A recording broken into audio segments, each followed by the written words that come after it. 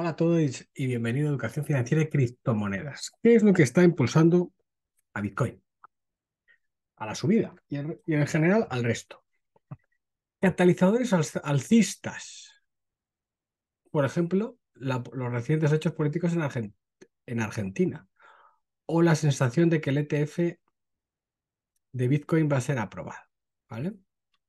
Tenemos a Bitcoin en 44.000, Aquí está el precio, este gráfico, la subida vertical de estos últimos meses. Uno de los activos más valiosos del mundo, de los 10 primeros. Porque será el primero. Eh, la subida, pues está captando, lleva 160% este año, ¿vale? Desde noviembre del año pasado, de, pues este año, pues básicamente 160-170% de subida. 10 factores que, que influyen. Correlación entre Bitcoin y el oro. El oro está subiendo, ha pegado un subidón. Eh, entiendo que esto es ahora 2.0 y sube. A ver, lo que está claro es que van a favor de obra. O sea, si sube el oro, sube Bitcoin. Creo que sí. Si sube Bitcoin, sube el oro. No lo tengo tan claro. Pero bueno, de momento lo que viene a decir es que sube el oro, sube Bitcoin. Oro digital, activo refugio contra la inflación y la devaluación del dinero fiat. Impulsan al oro, impulsa al Bitcoin las mismas razones. Bueno, puede ser, puede ser. ¿Vale? Este es el gráfico de la correlación, se supone, con SP con el oro. ¿Vale? Se supone que está bastante correlado. Que le gusta Javier Milei o Javier Milei. Bueno, se supone que la ganancia de Javier Milei va a hacer que, que se va a usar más el Bitcoin porque Argentina es un país importante, entonces en ese sentido se van a comprar más bitcoins y si se compran más bitcoins el precio sube. Bueno, sí, eso también puede decirse. No se puede decir que, que Milei, Javier Milei sea bitcoiner, aunque tenga pensado algún trato privilegiado al bitcoin, pero, eh, pero sí que es cierto que Milei se ha pronunciado en muchas ocasiones a favor de bitcoin. ¿Vale?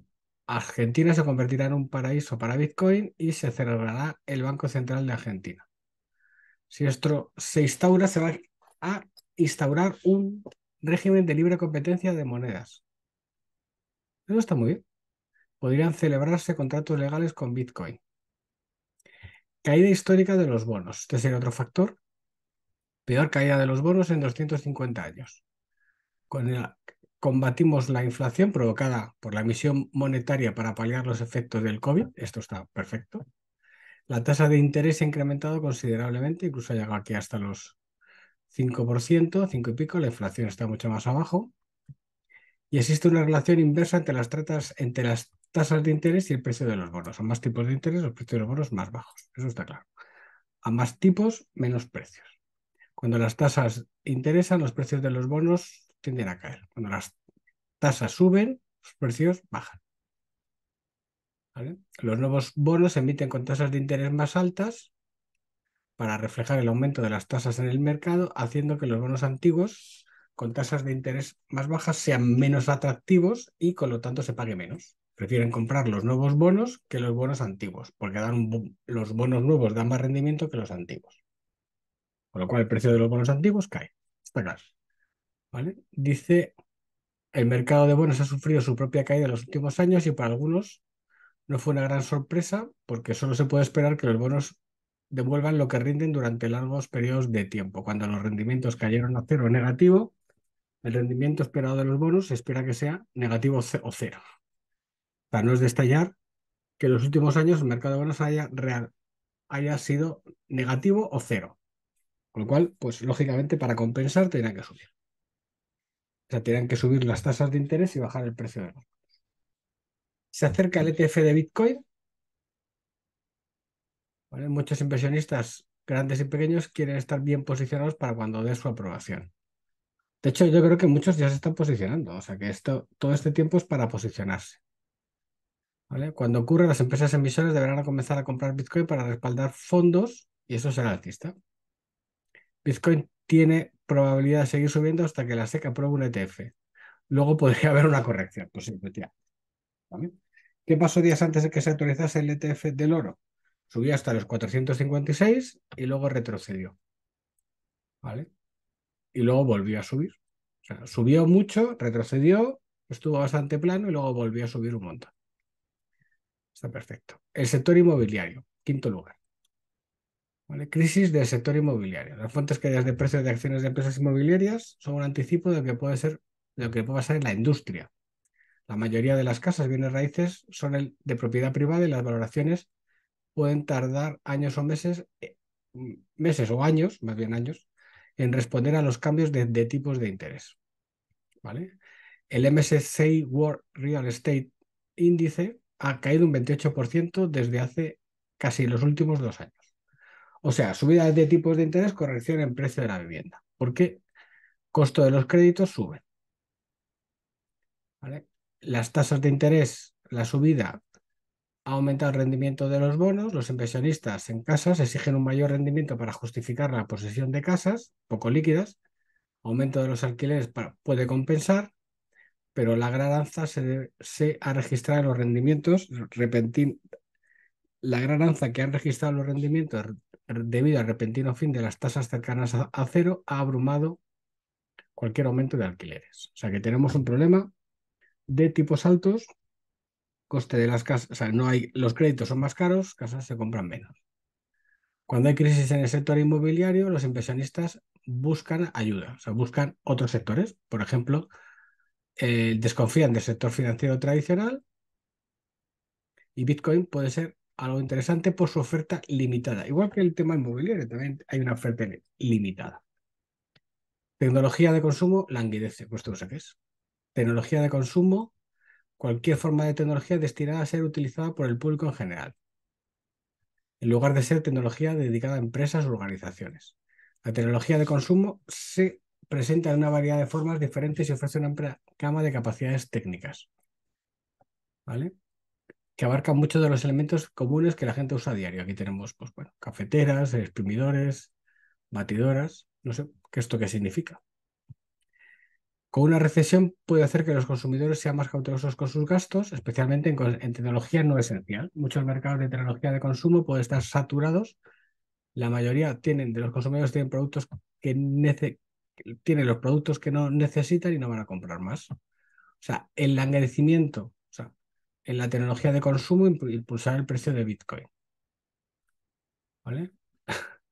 Es una relación un poco extraña. Si la tecnología de consumo está languideciendo y no ofrece oportunidades atractivas, las personas podrían buscar otros lugares para poner su dinero. En lugar de gastarse en la batidora, inviertes en Bitcoin. No sé cuál es la relación, pero bueno, me la, la compro. Los bancos. ¿vale? Depósitos en bancos han caído este 2023, quiebras de bancos y gigantes financieros. Bitcoin es imperturbable. La demanda de servicios financieros más transparentes, auditables y descentralizados se ha disparado porque desde nuestro punto de vista las criptomonedas son una solución a los puntos centrales de fallo, la opacidad y los problemas regulatorios. O sea, Bitcoin es una solución a la opacidad bancaria y al punto de fallo, claro, que un banco puede quebrar. La crisis bancaria impulsará la adopción y autocustodia de Bitcoin, tenerlo dentro de sus propios monederos y fuera de los wallets la Fed impulsará el Bitcoin indirectamente. ¿vale? O sea, la Fed va a hacer subir el precio. Políticas monetarias expansivas como la, como la reducción de la tasa de tipos de interés y la compra de activos financieros. O sea, que la Fed, reduciendo los tipos, va, a favorecer que suba el precio de Bitcoin. Pues Préstamos más, más baratos, estimula la inversión y el consumo, aumenta la actividad económica cosas positivas para el mercado de valores y para activos como Bitcoin o serio. El halving, que será aproximadamente en abril, se reduce la oferta de nuevos Bitcoin, la demanda se mantiene constante o aumenta, menor oferta, mayor demanda, subida de precios. Eso lo tenemos claro. claro. ¿Vale? Tras los halvings ha habido aumentos significativos del precio de Bitcoin. Pues sí, eso es cierto. Décimo factor,